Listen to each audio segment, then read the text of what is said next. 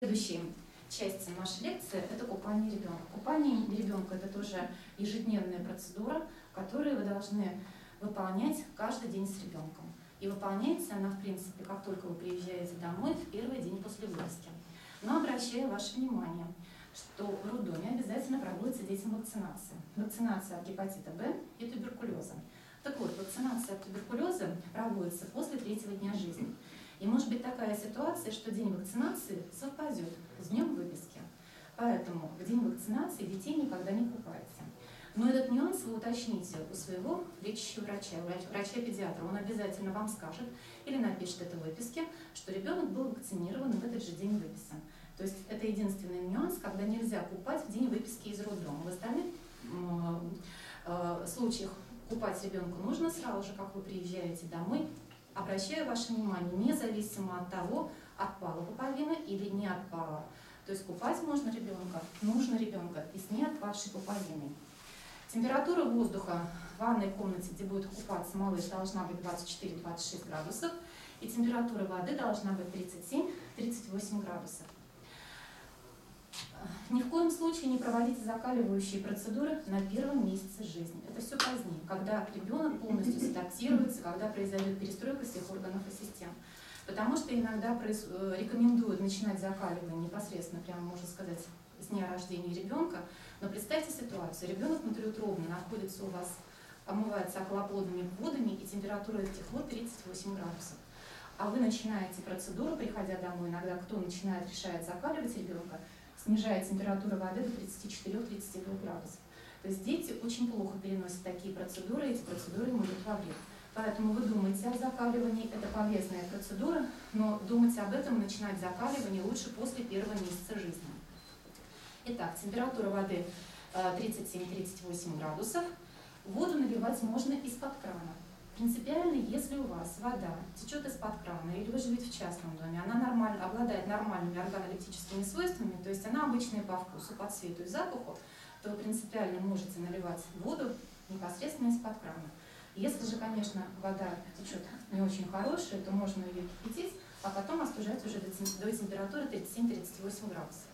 Итак, что требуется для купания малыша? В первую очередь это ванна. И ванны в настоящее время продаются двух видов. Вот такие обычные стандартные ванночки. И второй вид ванны, э, как бы вот с таким креслом анатомически, как куда можно уложить ребенка. Рекомендация такая, вот такие ванночки, они, скажем так, не очень удобны, не очень оптимальны для ребенка. Почему? Во-первых, посмотрите, здесь ребенок находится э, в несколько таком не, не чисто вертикальном состоянии, но все-таки нагрузка на кости таза и бутон малыша, чего не должно быть в первый месяц жизни. Поэтому в первый месяц жизни не очень полезна она, это такая ванна. С другой стороны, когда ребенок вырастает, и вы его купаете в этой ванне, он ограничен, и даже если вы наливаете воды достаточно, он получается практически вне воды, что тоже для него будет не очень комфортно. Поэтому лучше, учитывая опыт, Эм, лучше использовать обычную ванночку. Но поскольку в первый месяц жизни всегда очень трудно проводить эту процедуру, вы еще не знаете, как э, совладать с малышом своим, можно использовать всевозможные приспособления. Вот такие горки, которые помогут вам удерживать малыша.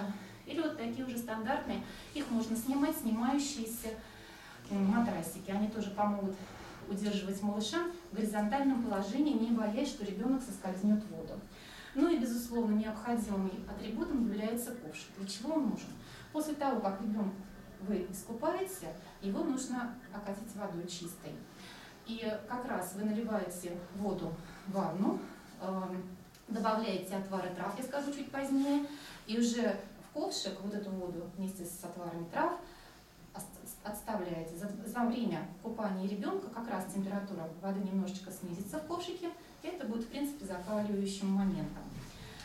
Воду э, наливаете в ванночку таким образом, чтобы ребенок находился в воде по грудь. Потому что если ребенку нальете мало очень воды, ребенок находиться будет вне воды, то ребенку будет просто некомфортно. Поэтому по грудь ребенок должен быть погружен в воду. Что использовать? Первое время, пока не падет остаток пуповины, пока не заэпитализируется пупочная рамка, нужно использовать либо отвары трав, череда, чистотел, ромашка, марганцовку.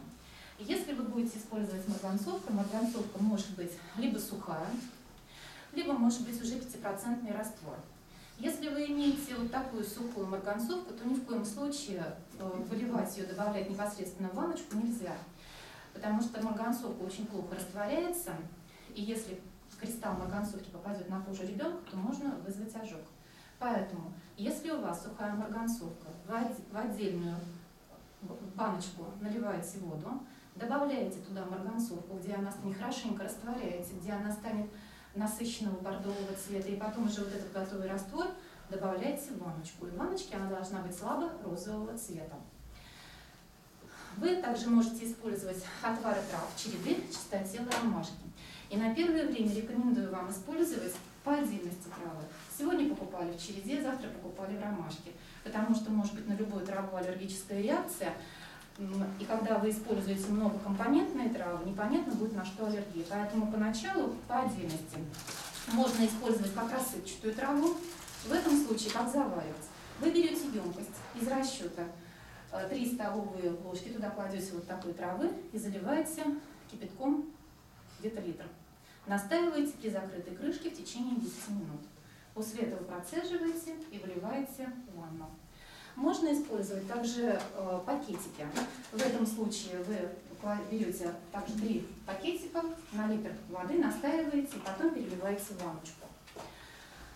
Со временем, когда вы увидите, что ребенок нормально реагирует на травы, то можно уже использовать готовые экстракты трав, которые продаются в аптеках или детских магазинах. Э, и принципиально купать вот нужно с использованием трав где-то вот до а, заживления, до окончания заживления пупочной рамки. И, конечно, помнить, потому что по-разному дети реагируют на все вот эти препараты, на травы, на марганцовку, вы посмотрите по состоянию ребенка. Потому что если кожа такая раздраженная, на ней какие-то имеются элементы, может быть, воспалительные, в этом случае, конечно, лучше использовать либо марганцовку, либо череду, либо чистотел. Если кожа хорошая, то э, можно использовать ромашку, потому что она обладает хорошими смягчающими свойствами, и при хорошей коже можно в ней купать. Э, в последующем можно э, использовать уже готовые такие вот фитоотвары для детей под названием Баю-Бай. Они бывают разных фирм. Чем они хороши? Чаще всего в своем составе они содержат лаванду, которая нормализует сон ребенка. Также имеется а, морские, морская соль для детей для купания. Она может быть тоже разная по составу, она может быть тоже с маслом лаванды, она может быть с кальцием. Здесь уже вам может рекомендовать педиатр, который вас наблюдает. Все зависит от того, что может быть, какие могут быть проблемы у ребенка, и порекомендовать вам определенную морскую соль для купания малыша. Итак, приготовили ванну ребенка и начинаем его купать. Как его держать? Вот такое маленькое, хрупкое существо, которое не держит голову совершенно, и страшно вообще его как-то взять. Существует два способа его удержания. Самый надежный, самый верный, который больше всего вам подойдет, с фиксацией за ручку. Вот таким образом. А, в этом случае что получается? Голова. Дело в том, что очень а, неукрепленный шейный отдел, и чтобы голова э, не крутилась в разные стороны, вы укладываете шею ребенка себе на руку и кистью удерживаете за плечевой сустав. Все, ребенок у вас никуда не двинется. Даже если он со временем у вас подрастет, и вам будет тяжело в ванне, в воде, масса тела уменьшается ребенка, и вам будет легко, ребенок будет плавать. То есть вот таким образом совершенно ребенок у вас никуда не денется, он у вас не соскользнет. И следующий способ, это уже, можно сказать, для продвинутых родителей, когда вы немножечко пообвыкнетесь, когда вы привыкнетесь, но он считается более физиологическим, потому что этот способ не сковывает движение ребенка, удерживая непосредственно его только за головку. Вот таким образом. Конечно, первое время вы так будете очень бояться его держать, потому что он будет туда-сюда крутиться, вы будете бояться, что у вас ребенок соскользнет с руки, поэтому первое время держи, фиксируйте за руку, за плечевой сустав, а потом со временем, когда привыкнете, вот так за голову, ребенок у вас будет плакать, вы не сковываете его движение, шевелить хорошо будет руками и ногами. Ну и следующий нюанс, а, что, да, купаете малыша, и какие, как, что вы используете во время купания? Вы использовать должны мыло, но мылом вы пользуетесь всего лишь два раза в неделю. То есть вы купаете ребенка каждый день Но с мылом купаете вы два раза в неделю. Соответственно, когда вы используете мыло, вы используете, моете ему голову. То есть голову мыть мылом тоже каждый день не надо. Мыло используете детское, обычное белое пусковое или слабо-желтого цвета с теми же травами. Череда, чистотел, ромашка. Очень удобно пользоваться жидким мылом. Оно тоже обычно не имеет каких-то добавок, оно должно быть бесцветным. Или же с теми же добавками. Череда, чистотел, ромашка. Более гигиенично использование вот такого жидкого мыла. Почему? Потому что очень часто бывает, что мыло остается в мыльнице сырым, там могут остаться частички, э, ну, какая-то может налипнуть грязь, пена вот эта. Это не очень гигиенично, и как раз вот в этой пене считается размножаются микробы. Поэтому либо должно быть сухим мылом, если вы его используете, либо более, более гигиенической точки зрения вы используете вот такое жидкое мыло. Ну и обязательно должно быть хозяйственное 72% мыло для чего? На случай неприятностей с кожей. В тот момент, если на коже у ребенка имеются опрелости или потница, локально можно использовать хозяйственное мыло. Хозяйственное мыло очень хорошо подсушивает кожу малыша, поэтому, может быть, на все тело и не нужно его использовать, но локально, где имеются опрелости и потница, использовать хозяйственное мыло можно. То есть на всякий случай это мыло должно быть у вас под рукой. Ну и после один из э, способов купания ребенка это купание малыша в круге. Производителем вот этих таких кругов, э, в принципе, позиционируется, что эти круги можно использовать с нуля, то есть с рождения до двухлетнего возраста. Но, безусловно, скажем так, использовать у крохи только что родившегося, это будет, скажем так, не очень оптимально, потому что вам самим нужно будет приспособиться. Поэтому, как опыт показывает, обычно мамы пользуются такими кругами где-то со второго-третьего месяца жизни.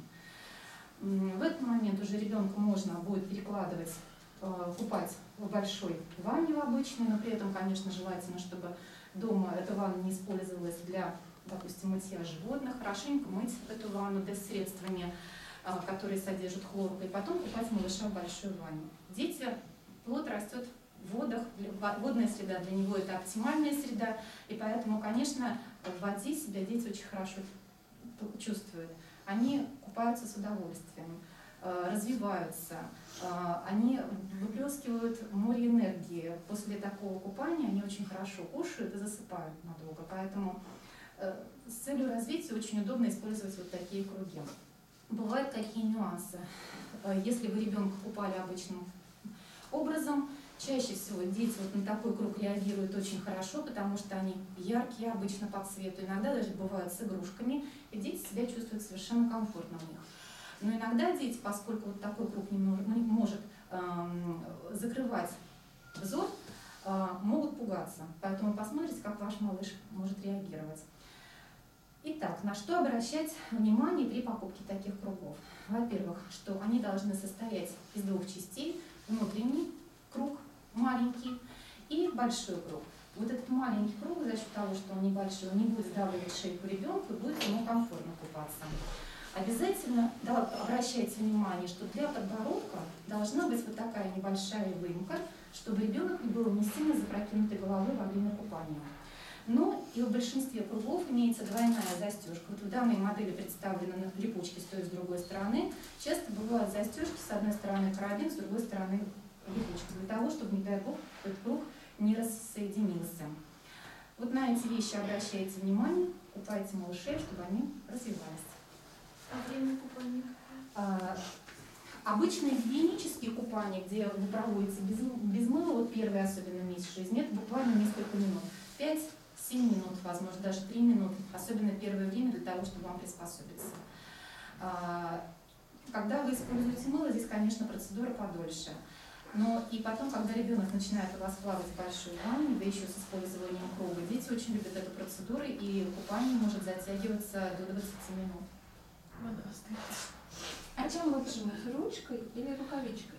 А, можно поначалу использовать просто рукой мыть.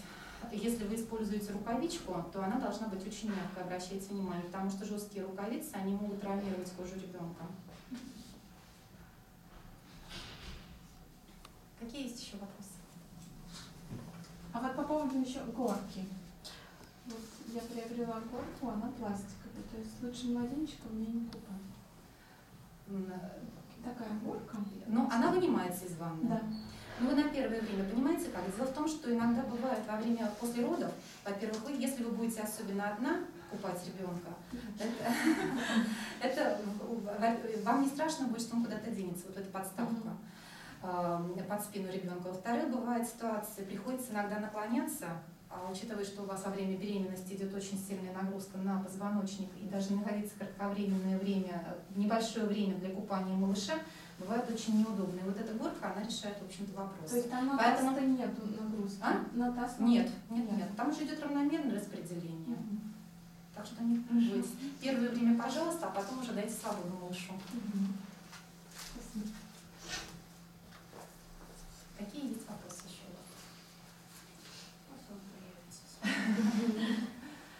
Так, ну, сегодня мы с вами заканчиваем, да, занятия. На следующей неделе, я не знаю, по-моему, придут представители Медела, если я не ошибаюсь, по поводу техники грудного вскармливания будет